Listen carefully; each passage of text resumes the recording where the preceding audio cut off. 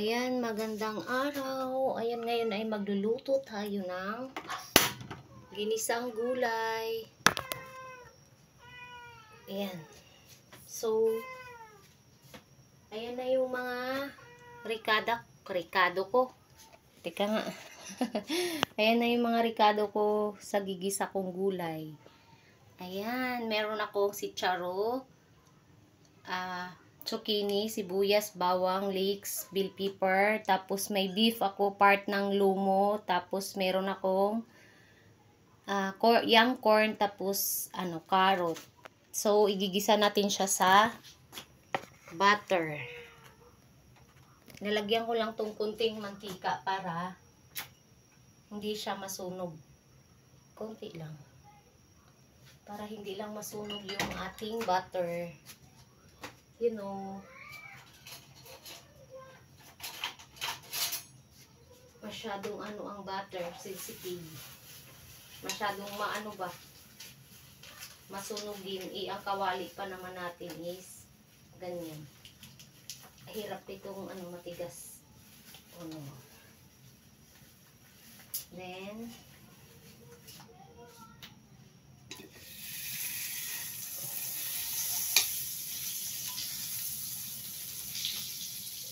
Lagay natin yung ating beef.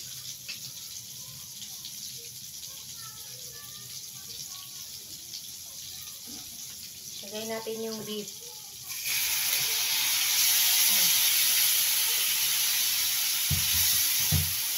Gisa muna natin siya. And hawak muna dito. Gisa muna natin yung beef natin sa butter.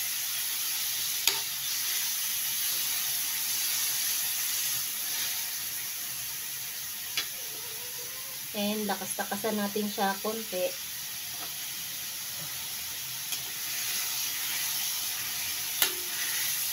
Madali lang naman tulutuin tong beef na to kasi lumo to siya. Ayan. Pag part kasi ng lumo, ganyan siya. Sabi ni ano, yung kaibigan ko, hoy, lakasan mo yung boses mo, masyadong mahina. Kaya sige, lakasan ko na. Ayan, ginigisa ko muna yung beef. Tapos, patuyuin lang natin yung konting medyo nagtubig siya. Of course, kasi yung beef merong water. So, later na natin siya anuhin. Paanuhin muna natin siya. Paibsan. Tapos, lagyan natin siyang coating butter mamaya para sa garlic and onion.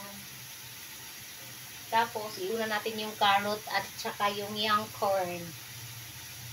Kasi yun yung ano eh, medyo matigas. Then, i-next natin is yung sitcharo. Dumami ang water ng beef. Oh no. Hindi ko siya ano, hindi ko siya gets.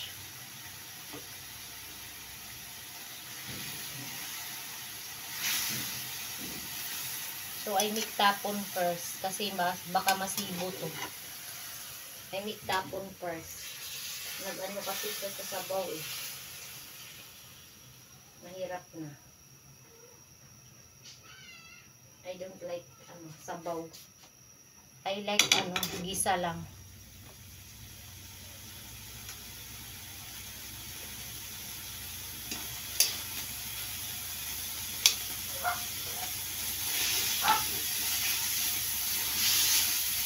Gisa-gisa ko lang siya eh. Then, put muna natin yung ating yan, ilalagay ko na yung ating bawang. Bawang muna. Tapos, bisa-bisa lang.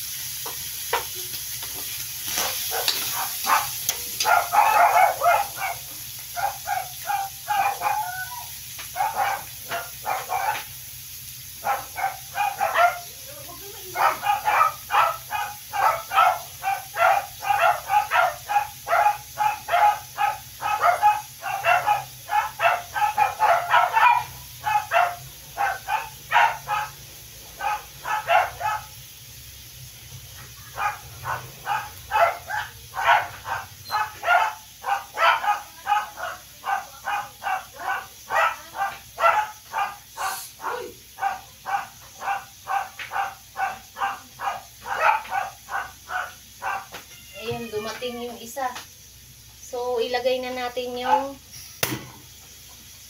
ay hindi pa na-off ko nga pala so Nagisa muna natin sa uli.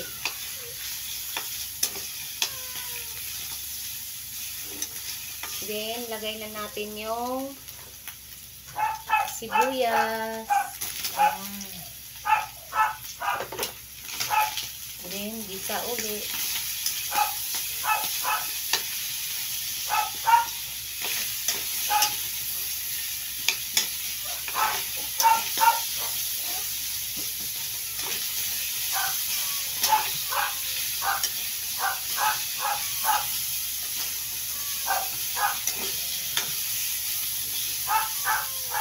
Bisa-bisa lang yan.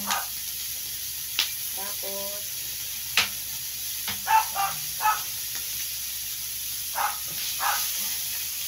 then, lagay na natin yung ating carrot. Ay, lagay ko na yan. Then, bisa halo again.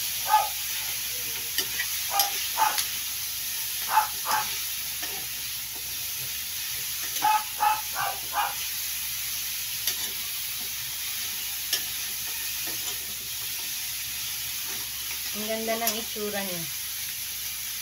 Then, super dami niya. Lagyan natin siya ng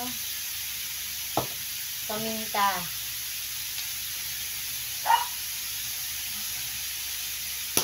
Then, soy sauce.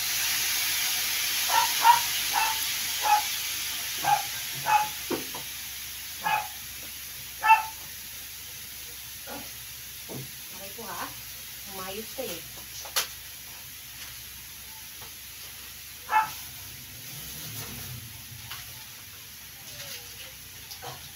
Lagyan natin siya ng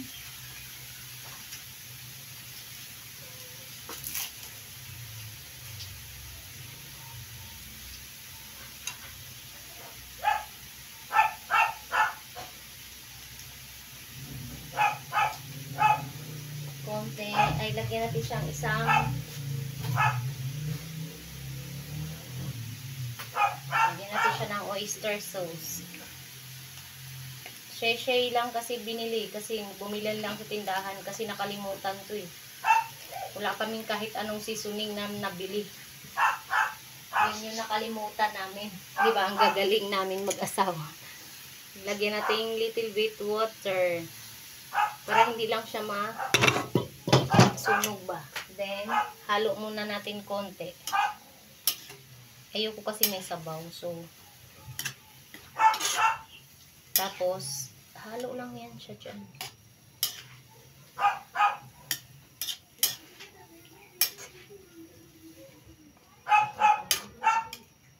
Ang sarap ng itsura? Mm, yummy. Sana yung ano ko. Lagay natin to kasi medyo ano to eh.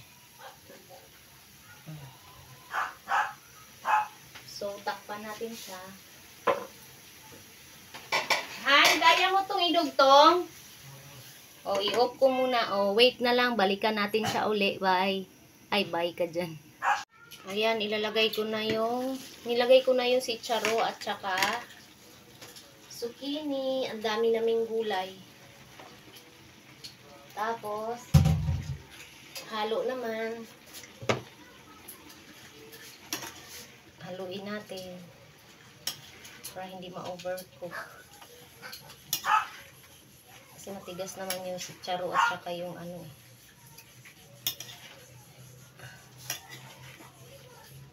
Wait lang muna ha.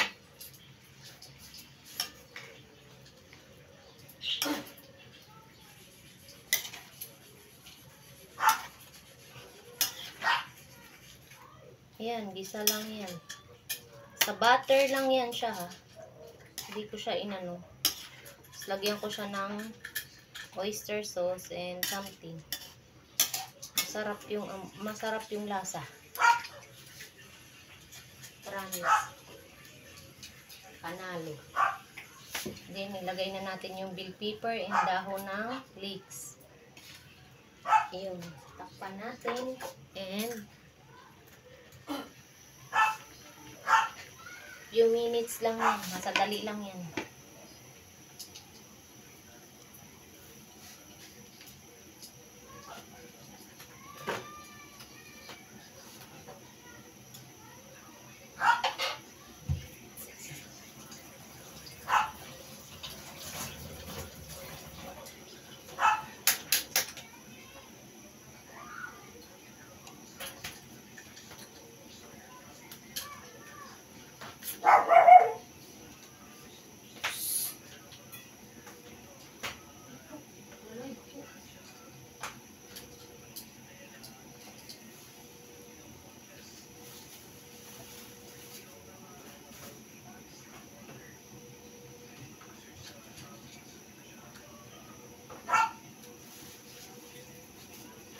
And next natin dito is init ng chicken dahil yung ulam kahapon ba para balance, di ba? Vegetable and chicken ang ulam namin ay tirang chicken kahapon. Madami pa eh. So, let's get it on.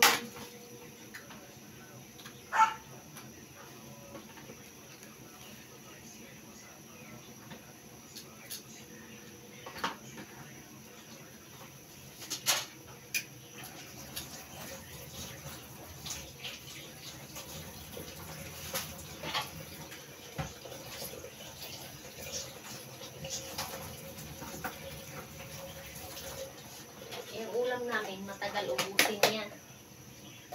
Yung luto ngayon, ulam na yan ang kabilang araw. Ay. So, open ang bango. Sarap ng amoy.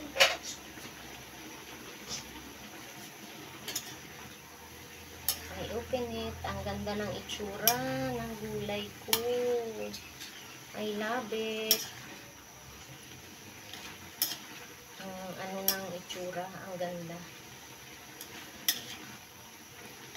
Ang sarap niya, promise. Hindi ako nag Wagi na naman ako sa experiment ko. Alam nyo, pagka nang dahil sa reels, ang dami kong naimbentong mga ulam, makakatayo ako ng sarili kong restaurant nito.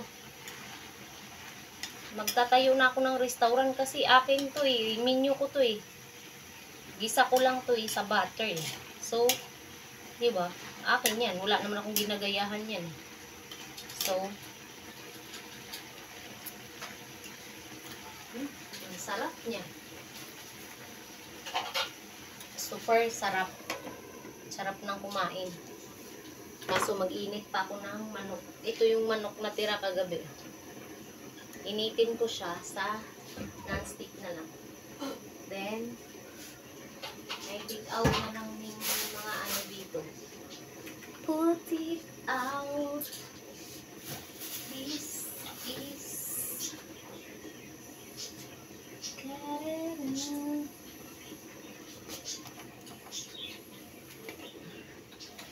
Yung zucchini kaya luto na. I check. Bawal yan siya ma-overcook. Okay na yan. My vegetable is cooked already. So yummy. Look. Meron siyang zucchini, sitsaro, ah, mushroom, and ano pa ba? Yun. Sitsaro, zucchini, yung corn, and ano, carrot and bell pepper, leeks, at saka sibuyas na puti. So, super yummy food tonight.